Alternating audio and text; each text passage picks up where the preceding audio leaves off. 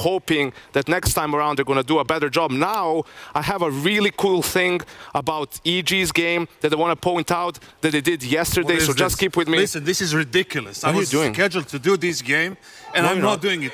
EG's in shambles. They won't qualify. They don't have the team. They have a bunch of players. This is ridiculous. People, they need to know the truth. Can you I will not won't be silenced about this. It's enough. I'm done. You need to know this as well. People are just ridiculous about these things. so it's I'm not gonna do it anymore. Yeah.